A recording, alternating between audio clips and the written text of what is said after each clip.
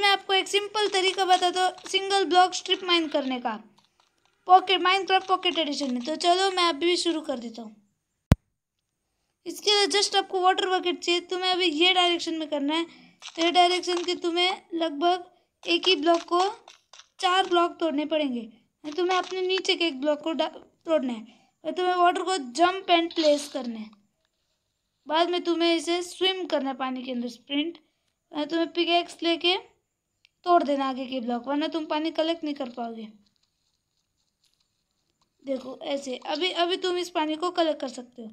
तो बचा दिया ना मैंने आपका टाइम तो कर दो लाइक एंड सब्सक्राइब